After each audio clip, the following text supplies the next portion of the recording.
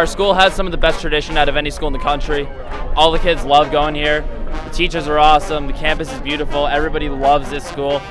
And the fact that we get up every day and go to class and just look at each other and say, You're Seminoles, that's family to me.